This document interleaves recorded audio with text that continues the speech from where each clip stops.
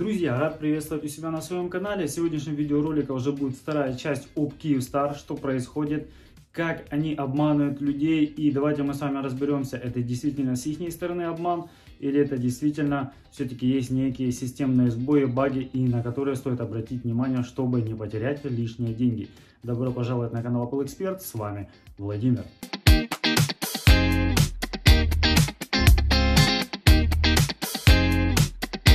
Дорогие друзья, столкнулся с такой ситуацией, что э, зашел в приложение Kyivstar, дабы убедиться просто, какие у меня э, идут траты по моему оператору. В данном случае это Kyivstar, я пролистывал, то есть ежедневно снималась сумма там где-то 6.49. И на одну я обратил то, что было 10 гривен. Мне стало интересно, за что это было.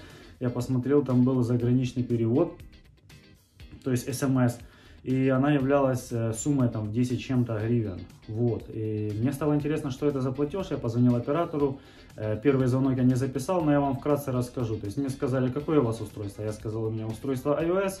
Э, мне сказали, да, такое бывает, может быть взиматься плата за то, что вы используете там FaceTime или iMessage, то есть идет какая-то автоматическая отправка для активации где-то в Великобританию, и якобы вот это оно и было.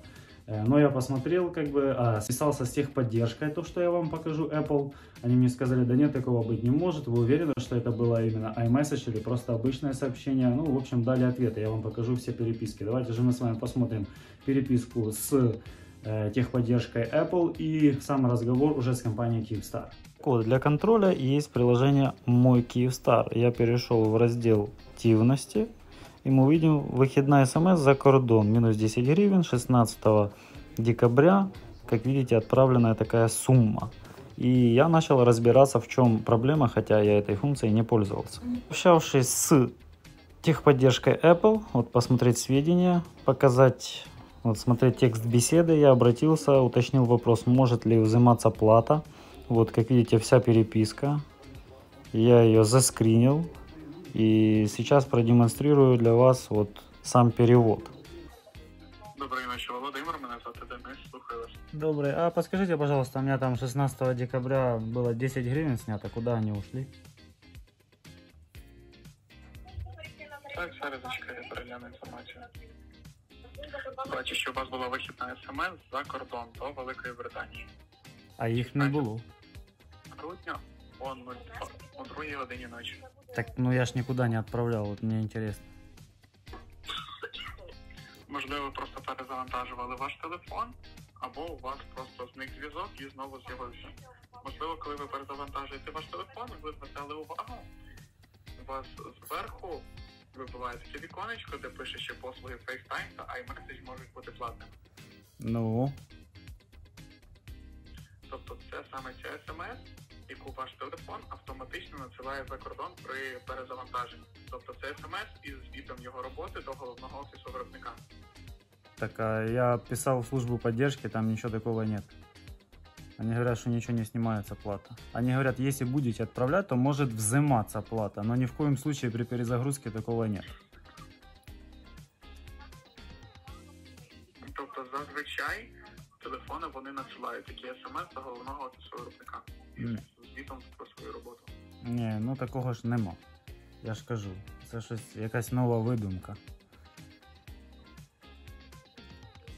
Наразі я вам надаю ту інформацію, яка відображається у мене на екрані. Ну, а если это вопрос касается андроида? Зазвичай на андроїдах такі відправляються на телефонах фірми Huawei, Xiaomi та Oppo. Ну так. И как быть в этой ситуации? К кому обращаться на возврат таких денег? Наразі повернути ці кошти можливості немає, але якщо бажаєте на вашому телефоні ці послуги можна відключити. Не, ну это понятно. Так а как быть все-таки? Вот ее ж надо как-то решить. У вас вообще там часто какие-то сбои непонятные, то там снимаются деньги непонятно куда, а якобы они не сняты, а люди ходят пополняют, и вы говорите, что там это сбой был, и деньги не возвращаются, то что делать? К кому обращаться, куда идти? Наразі за цей випадок вам кошти не повернуться, так як ці смс ваш телефон надсилає автоматично. Хорошо, а випадок то, що показує неправильний счет, хотя на счету в плюсе на самом деле, а показывает в минусе. То что с этой случаем делать, если люди пошли пополнили счет? Де саме у вас відображається така інформація? Непонятно, что, что вы сказали? відображається така інформація? Ну, это был случай, там, может, двухнедельной давности, не знаю. Мой сосед, я вам говорю, звонил также с оператором, разговаривал с его телефона. У него минус 400 там с чем-то. А зайдя в приложение Мой Киевстар, он в плюсе. То, то есть эти люди пожилые, они вообще не понимают, что происходит. Как им компенсировать эти деньги?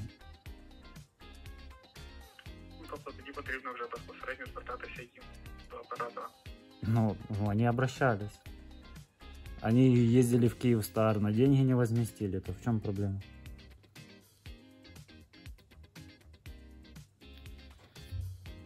Я вас розумію, але ви зрозумієте мене, я не зможу переглянути інформацію за тим номером. Нет, а при чем тут переглянутая Можу информация? переглянути саме ту Там же ж ситуацію. ответы дали. Просто как вернуть деньги, допустим. Повертаються протягом 30 робочих днів після того, як заявка була розглянута. Угу. Ясно. Хорошо, спасибо. Сейчас попытаюсь проделать то же самое э, с переустановкой iOS, ну то есть восстановиться просто. Сейчас проверим счет, чтобы наглядно видели, что эта функция вот включена. Здесь у нас 89, 59, запомнили эту цифру. Э, Ищем у нас сообщение iMessage активировано, функция FaceTime активирована, дабы потом убедиться нам, что действительно снимаются из-за этого, не из-за этого. То есть, как видели, FaceTime тут ни при чем, как просто смс. Ну, короче, определим, увидим эту смс. Вот сейчас пришло это уведомление. Оператор сотовой сети может взимать плату за сообщение смс, используя для активации FaceTime и iMessage. Жмем отмена. Ну вот, друзья, как сами видели, все-таки вердикт э, каков? Э, я э, пытался перезагрузить, ничего не получилось. Путем уже, когда я там, допустим, делал сброс настройки, восстановление прошивки, действительно вот это iMessage выскакивает, вам не нужно нажимать ОК, нажимаете отмену, и все, как бы вы избежите этих трат. Все равно, сами подумайте, такие вот хитрости, действительно, как они сказали на других устройствах, там Huawei, на каких-то Android устройствах и так далее, которые были перечислены, есть такая фишка, будьте внимательны, не нажимайте ОК, дабы не отправлять вот таких вот подобных активаций, не тратить деньги, потому что это такая схема, у нас миллионы людей, все-таки средства без нашего ведома снимаются. Это очень неправильно, нехорошо. Э, Будьте осторожны. Вот это была цель моего видео. Как бы мне стало интересно, может я еще кому помогу. Вот как-то так, друзья. Если у вас тоже есть какие-то полезные истории, напишите мне. Для меня это тоже будет полезно и интересно. Будем вместе разбираться, почему бы и нет. Подписка на канал, прожмите на колокольчик, оставьте позитивные комментарии. Дальше больше. Скоро увидимся.